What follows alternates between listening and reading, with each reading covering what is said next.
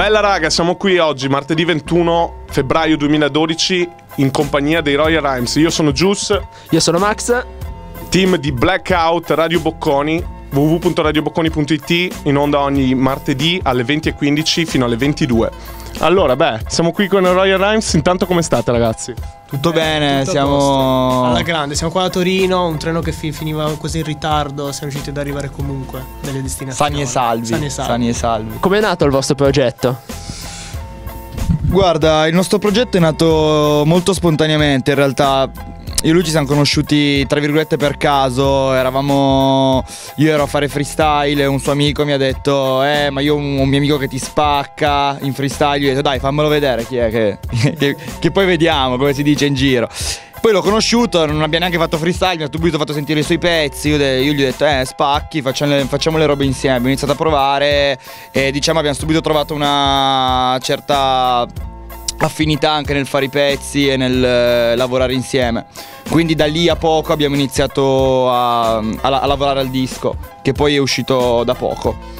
E, vuoi aggiungere qualcosa a dirti? No, niente, che è stato, un- come dice lui, una cosa molto spontanea, nel senso che è stato bello comunque, proprio appena conosciuti, riuscire a trovare subito una forte alchimia, che secondo me è la cosa fondamentale nel lavoro fra artisti. E, e il tutto è nato in maniera molto spontanea e rapida soprattutto, che è una cosa abbastanza difficile in un pro- gruppo appena nato, ecco. E come mai questo nome date a Royal Rhymes?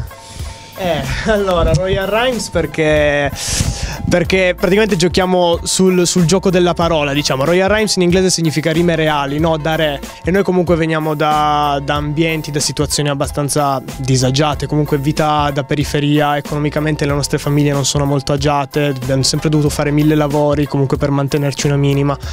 E rime reali sia per la regalità sia per la realtà, ovvero descriviamo al 100% ciò che viviamo, nessun fronzolo, magari un po' di romanzata, ma giusto per dar quell'impatto all'ascolto dell'ascoltatore in quel momento, ecco. Descrivete brevemente questo primo lavoro. Cosa dovrebbe aspettarsi l'ascoltatore prima di mettere in play? Guarda, per per il primo lavoro che abbiamo fatto, l'ascoltatore deve comunque aspettarsi un lavoro molto spontaneo, appunto, e molto diretto. A noi, noi abbiamo scelto comunque nel primo disco di spaziare un po' tra tutti gli argomenti, e di fare comunque, cioè di, ave- di avere un panorama ampio, cioè non solo fare magari i pezzi d'amore o i pezzi troppo incazzati. Abbiamo detto, boh, facciamo un po' di tutto per comunque, perché comunque secondo me bisogna fare tutto nel- nella, nella musica, cioè non, non puoi solo fare una cosa perché dopo un po' la gente si annoia, dice vabbè ma quello fa solo quella roba lì e basta. Quindi diciamo che mh, noi comunque siamo molto punchliner, che in gergo vuol dire molte rime ad effetto, te- cioè curiamo molti- molto le rime, curiamo molti ritornelli, abbiamo la particolarità di, di- di cantare eh, i ritornelli quasi tutti e comunque riusciamo a restare mh, eh, real tra virgolette facendo anche magari pezzi meno rap eh, da zoccolo duro tra virgolette. Hai detto che vi basate molto sulle punchline. Quanto ha, ha impattato il vostro percorso da freestyle nella, nella formazione artistica? Sì, diciamo che appunto io personalmente come anche lui abbiamo iniziato col freestyle, che secondo me è una cosa necessaria per chi si vuole avvicinare comunque alla musica rap, perché il freestyle ti permette di soprattutto di iniziare a mettere in testa eh, le, le prime idee, iniziare a capire come fare le prime rime e poi comunque il freestyle è un confronto diretto subito contro un altro rapper e comunque il rap è molto competitivo, quindi sul freestyle praticamente vedi subito chi è il più forte, come, come anche nello, nello sport, c'è proprio una roba diretta, c'è proprio com- competizione. Perché sulla copertina del disco ci siete voi su un tavolo da gioco? Allora, il- mm, come vuole suggerirsi la copertina e aggiungerei anche la forma del disco che ha forma di fish. Sicuramente la musica nasce come passione, ma nel momento in cui tu intraprendi un percorso musicale artistico cerchi sempre di arrivare dalla passione alla professione, come si suol dire. Quindi noi scommettiamo tutto su questo, su questo disco. Come una, una peculiarità potete vedere che le carte sono uguali, quindi o perdiamo insieme o vinciamo tutto insieme. Uno lean, vediamo cosa succede e puntiamo tutto su questo disco, insomma. Mi viene allora da farvi una domanda. Come vedete adesso la situazione dell'hip hop in Italia? Insomma, il gioco ormai è iniziato, ormai tutti fanno rap, comunque tantissimi ragazzi di oggi fanno rap e ci sono prodotti di diverse qualità.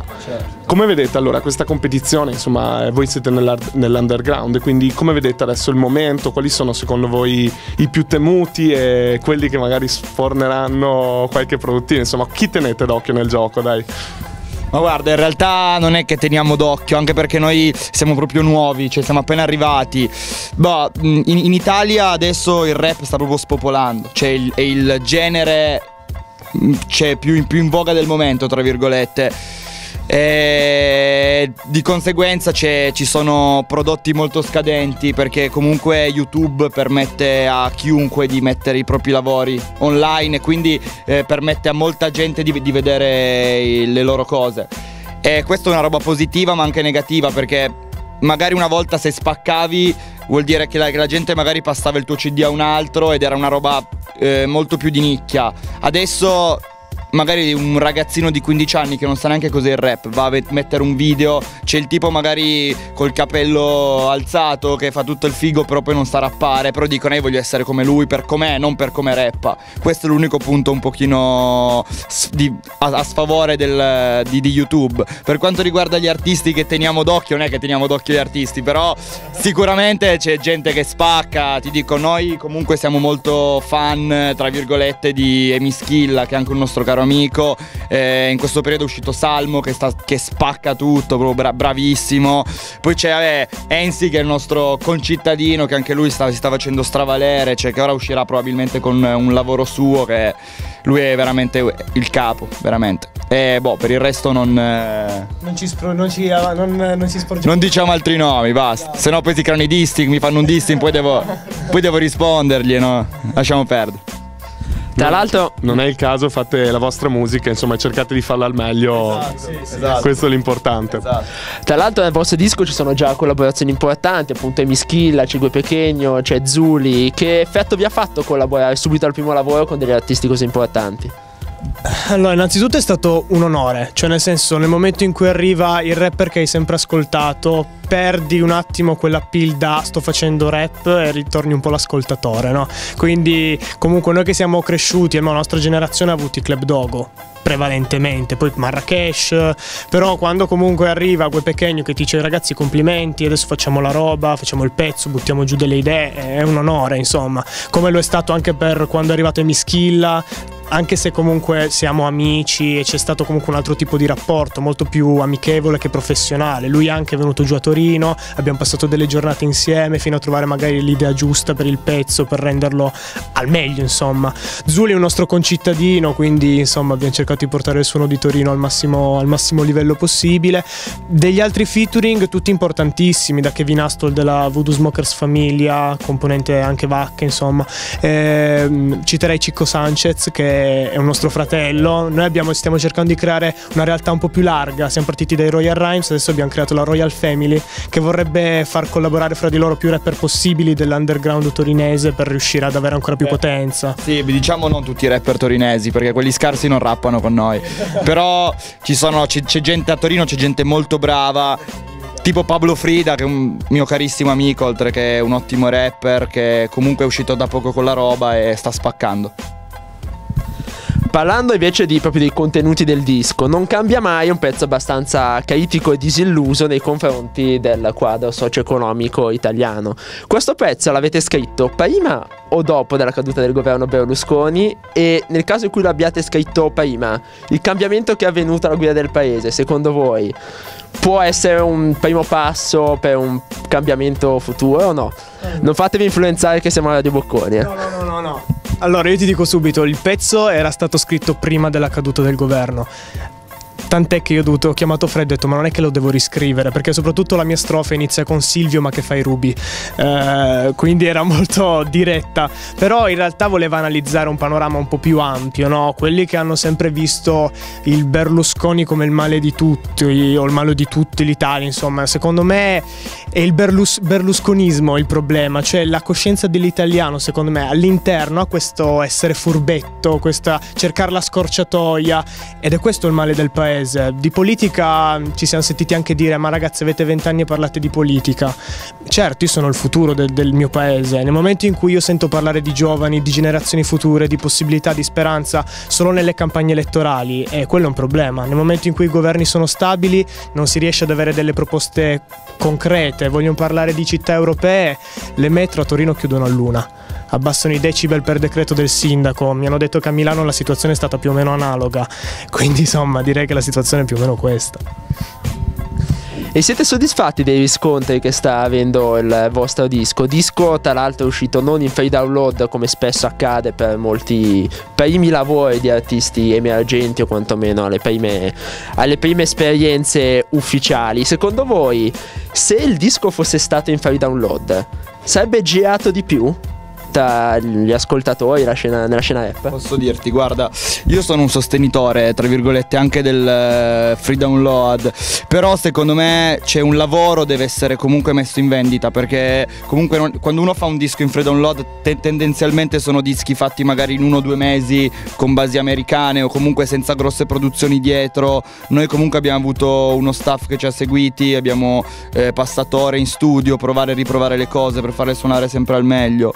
Quindi boh, io non, non, mi sarei mai sentito di farlo uscire in free download anche perché secondo me avrebbe anche perso valore. Perché comunque una cosa, grat- una cosa gratis viene sempre vista mm, cioè soprattutto dagli artisti nuovi, viene vista magari sì, questi ragazzini qua hanno fatto un disco a caso, mentre invece noi vogliamo dare subito la nostra impronta e dire noi siamo qua perché ci siamo tra virgolette spaccati il culo, cioè devo dire però, cioè questo. Bene, e il pezzo, anzi il disco si chiude col pezzo Che ne sarà di noi. Che ne sarà di voi? Come vi vedete da qui a 5 anni? È uno spazio bello ampio. Uh, dunque, che ne sarà di noi? Nel senso che comunque è un pezzo in generale, non parla tanto della vita artistica quanto della vita vissuta. Ad esempio, cioè, per citare la mia strofa, magari nella mia strofa il pezzo è dedicato a una persona con cui sto parlando e gli dico guarda è inutile cambiare, c'è anche un po' di, eh, come si dice, amarezza nelle parole, guardando al futuro parlando di una vita artistica, si spera che da qui a 5 anni la musica sia diventata una fonte di sostegno innanzitutto, perché comunque per dei ragazzi, comunque con, con situazioni abbastanza un po' disagia, disagiate in termini economici, diventa anche una fatica fare musica, nel senso stacchi da lavoro, a mezzanotte però sei in studio per registrare, la mattina ti alzi alle 8 per farti capire. Quindi speriamo appunto che la musica diventi la principale fonte di sostegno, cerchiamo comunque di allargare al massimo lo spettro degli ascoltatori che potrebbero seguirci. Guarda, dico anch'io cosa. Almeno così. In realtà io sono un pochino più cazzonaro di lui. Cioè, però comunque io tra cinque anni spero di concludere qualcosa. Perché comunque io faccio musica perché mi piace e perché comunque spero di farla tutta la vita.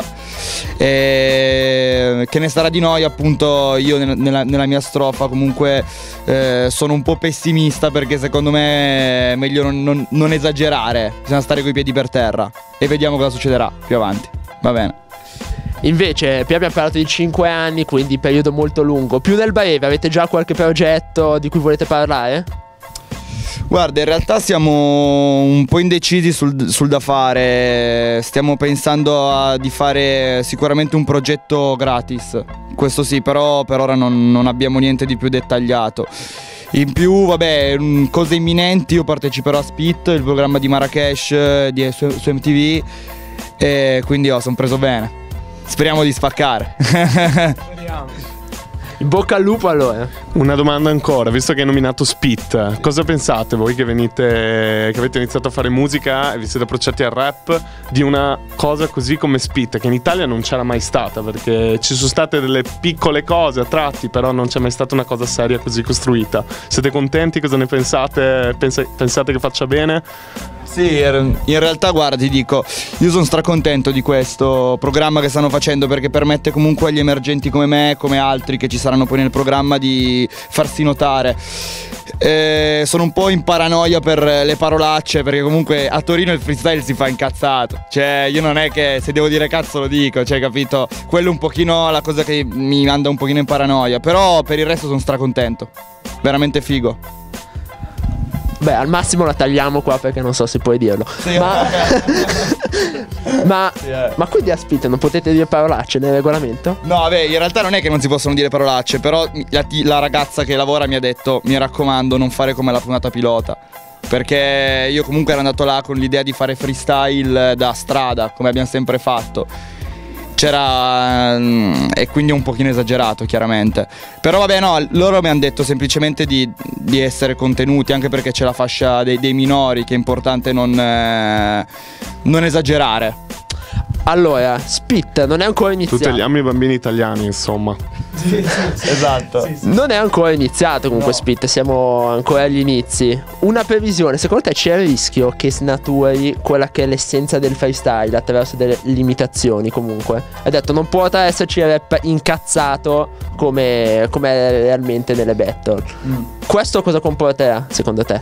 Ma allora, allora, in realtà non è che non c'è il confronto incazzato, perché in Spit Gala già solo se vedi c'è, un- c'è- c'è una competizione allucinante, sono tutti carichissimi.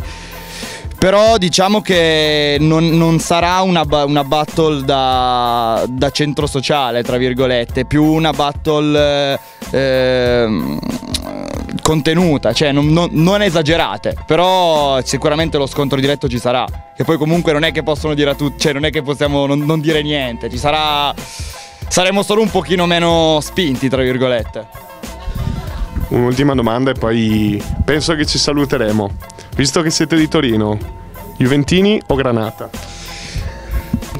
Guarda, io ti dico, sono abbastanza acalcistico. A me non, mai- non mi è mai piaciuto tantissimo il calcio, ho sempre seguito altre robe. Non lo so, la gente che si va a picchiare allo stadio per una squadra di calcio non me ne è mai fregato niente. Però se devo scegliere Juventino. Eh, io non scelgo, nel senso mio padre Granate penso mi ucciderà per questa cosa di...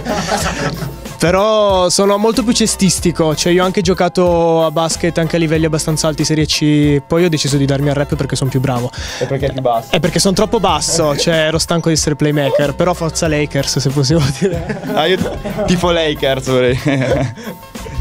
Forza Lakers, forza Ryan Rhymes, qua Radio Bocconi, Blackout. Ciao! Yeah.